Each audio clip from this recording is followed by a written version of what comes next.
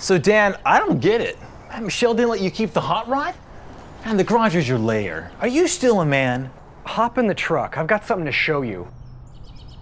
Behold the man cave. It's climate controlled, 24 7 security, high speed internet, customized just for me. And the best part is, I own it. Who's the man now? Nick, are you crying? It's so beautiful. Garage Plus Storage. No crying allowed.